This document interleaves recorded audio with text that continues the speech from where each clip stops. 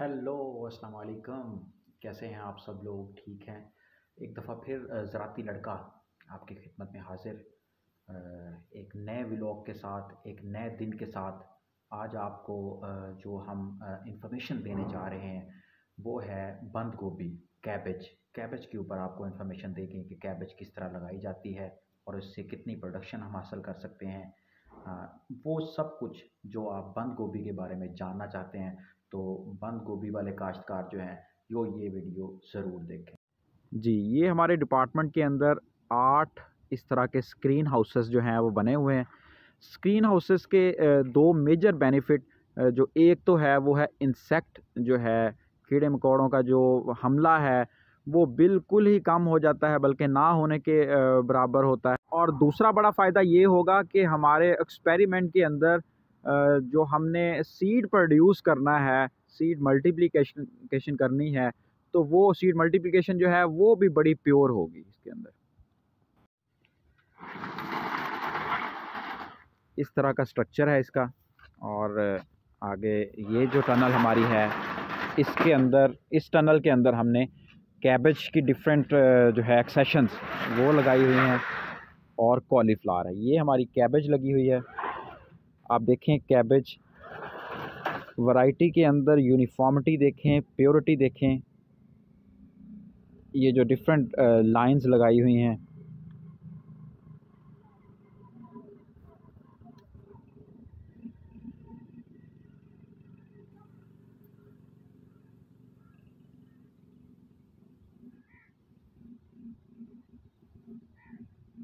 जी अली हसन भाई, आप ना हमें कैबेज के बारे में थोड़ा सा बताएँ। बंद गोभी जो है, वो उसके बारे में, उसकी प्रोडक्शन टेक्नोलॉजी है उसके हवाले से थोड़ा सा हमें मालूम दें।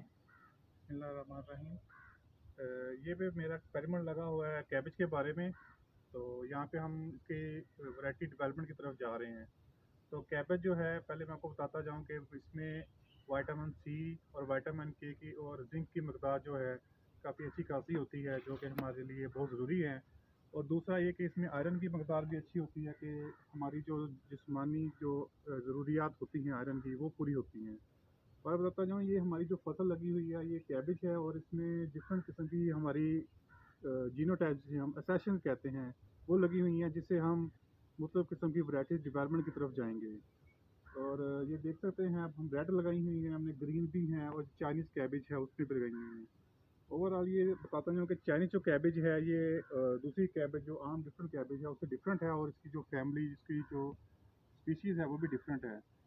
और ये बताते हूँ कि हम कैबेज की जो है वो हाइब्रिड डेवलपमेंट की तरफ़ अगर जाएँ तो हमारे लिए अच्छे सीड प्रोड्यूस होगा और इसमें हम आइसोलेशन में इसे रख के कीड़ों से महफूज कर रहे हैं कि हमारा जो सीड प्रोड्यूस हो वो बिल्कुल प्योर हो और इसमें कुछ इम्प्योरिटीज़ ना आए और हम जो फार्मर को सीड प्रोवाइड करें वो बिल्कुल प्योर हो। जी अली भाई, बहुत शुक्रिया आपने अपने एक्सपेरिमेंट के बारे में भी हमें बताया। अच्छा अली भाई, एक और मैं आपसे बात पूछना चाहूँगा कि हमारे जो किसान भाई हैं जो ये वीडियो हमारी देख रहे हैं, उनके, उनको आप क्या जो है तजावीज़ देंगे कि वो अपनी पैदावार को और बेहतर बना सकें, ताकि उनकी पैदावार अच्छी आ सके और मार्केट के अंदर उनको जो है, उनका रेट जो है फ़सल का, वो मुनासब और अच्छा मिल जाए। तो उसके लिए आप हमें बता दें कि स्टार्ट से लेकर सीड का हसूल कहाँ से है, इसकी ज़मीन की तैयारी के बारे में कुछ और जो भी आप फर्दर हमें इसके बारे में तजावीज़ देना चाहें। जी अली भाई। जी, मैं बताता जाऊँ कि इसकी प्रोडक्शन अच्छी लेने के लिए सबसे ज़रूरी है कि हम जो सीड लें वो अच्छा हो और हाइब्रिड सीड हो।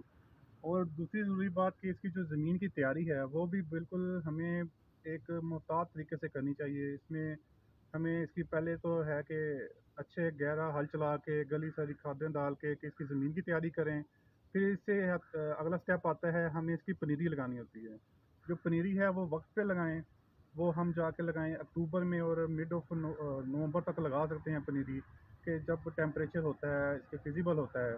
तो जब पनीरी चालीस दिन की हो जाए तो हमें इसे ट्रांसप्लांट करना होता है ज़मीन पे से जो फ़ील्ड पे करना होता है। सही है तीस दिन या चालीस दिन के बाद है ना हमने? चालीस दिन के दरमियान जब तैयार हो जाए आपकी अच्छी रोड तो ट्रांसप्लांट कर ले। वक्त पे ट्रांसप्लांट करेंगे आपके लिए बेहतर होगा।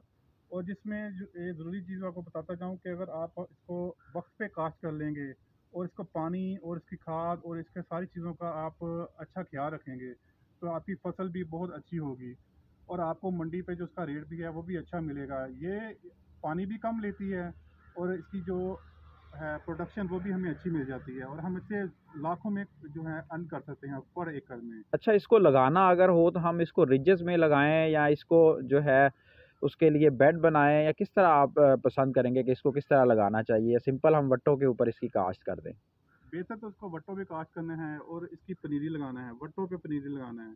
सही है। लेकिन कुछ आ, किसान हजरात जो हैं वो वट्टे बनाकर और डायरेक्ट सोइंग भी करते हैं और फिर इसकी वो छदराई करते हैं जिसे थिनिंग कहते हैं। थिनिंग कहते हैं। तो छदराई करके फिर वो जहाँ पर नागे होते हैं वो वहाँ पर लगा देते हैं। बेहतर यही है कि हम उगाओ और उसकी तादाद मुकम्मल करने के लिए हमें पनीरी लगाएँ तो बेहतर है वो तरीका। चलिए भाई इसकी हमें ना वैरायटीज़ के बारे में भी आप बताएँ कि कौन सी वैरायटी है जो अच्छी पैदावार की हामिल है और हमें वो लगानी चाहिए। फार्मर प्रोडक्शन अच्छी लेना चाहता है तो उसे चाहिए कि हाइब्रिड लगाए। और हाइब्रिड में भी जो आजकल जो टॉप पे चल रही है, वो ग्रीन राइस है। ग्रीन राइस के नाम से एक हाइब्रिड आ रहा है, वो अच्छी कर रहा है। और हम भी यहाँ पे एक सीड प्रोडक्शन कर रहे हैं, ये अब आप देख सकते हैं हमारा मटेरियल तो हम देखेंगे तो हमारे जो प्लांट्स है और जो सारा फ़ील्ड है, वो एक यूनिफॉर्म नज़र आ रहा होगा। तो हमारी ऐसी प्रोडक्शन है कि ये जो फ्लावर है, एक ही टाइम पे पकें, एक ही टाइम पे दूसरी स्टेज पे जाएँ। और मार्केटेबल स्टेज पे आए कि ताकि जो फार्मर है, वो उसे हार्वेस्ट एक ही साथ इनको कर ले और उसको कोई मुश्किल ना है कि एक कच्चा हुआ है, पका है और अभी एक छोटा है, कोई बड़ा है कि यूनिफॉर्म भी हम ला रहे हैं कि इस सीड प्रोडक्शन के लिए कि यूनिफॉर्म हो और फार्मर के लिए आसानी हो कि वो एक टाइम पे ही सारा हार्वेस्ट कर ले। किसान भाइयों और मेरे साइंसदान दोस्तों, आप देख सकते हो कि बिल्कुल एक्सेशन के अंदर कितनी यूनिफॉर्मिटी है ये एक ही एक्सेशन लगी हुई है और आप देखें उसके पत्तों का साइज़ देखें, आप जो बंद गोभी का बंच लगा हुआ है, आप वो देख लें। कितनी यूनिफॉर्मिटी है। जब किसी भी फ़सल के अंदर यूनिफॉर्मिटी होगी, जब सारे पौधे एक ही तरह के होंगे, तब आप जो है बेहतर पैदावार जो है वो ले सकते हैं। और ये आप देखेंगे कि ये रेड कैबेज है, इसे पर्पल कैबेज भी कहते हैं कुछ लोग। और ये ज़्यादातर जो है सैलड में यूज़ होती है और अच्छी लगती है सैलड में। ये मार्केट में ये इजीली अवेलेबल होती है ये भी। और ये तो काफ़ी आजकल ट्रेंड है कि जो मार्केट में है इसका तो सैलड में बड़ी कॉमन यूज़ हो रही है। और, और ये अली भाई ये बता दें ये तो ये, ये तो कॉमन आम जो है हमारी ये ग्रीन जो कह ले कैबेज है जो तो वो यूज़ हो रही है उसमें ये चाइनीज़ में भी यूज़ होती हैं। चाइनीज़ जो फूड्स हैं वहाँ पे भी यूज़ हो रही हैं ऐसे सैलड भी यूज़ करते हैं। और इसके बाकी ये है कि ये तो आम जो हमारी कैबेज है पाकिस्तान के अंदर जो लगाई जाती है आमतौर पर ये वो है। पाकिस्तान के अंदर सबसे ज़्यादा यही लगाई जाती है ना? जी पाकिस्तान के अंदर यही लगाई जाती ग्रीन को प्रेफरेंस लोग करते हैं लेकिन ज़रूरत इस बात की है कि हमें रेड की तरफ़ भी आना चाहिए। जी रेड की तरफ़ उसकी प्रोडक्शन भी ठीक है। उसकी प्रोडक्शन भी ठीक है। लेकिन ये है कि वो कुछ जो क्लास हैं कह लें कि कुछ लोग हैं जो पसंद करते हैं वो सैलड के तौर पर लेकिन हमारे साथ ज़्यादातर जो है ये ग्रीन जो है ग्रीन कैबेज वो यूज़ होती है। ग्रीन कैबेज जो है वो ज़्यादा यूज़ होती है। बहुत शुक्रिया अली भाई। अली भाई आ, मैं यहाँ देख रहा हूँ कि यहाँ पे एक तरह की कैबेज मुझे नज़र नहीं आ रही। यहाँ पे अलग अलग टाइप की कैबेज है। तो क्या हम आप कुछ बता सकते हैं कि ये कौन सी कैबेज है और मार्केट के अंदर कौन सी ज़्यादा चल रही है? आप थोड़ा सा बता दें।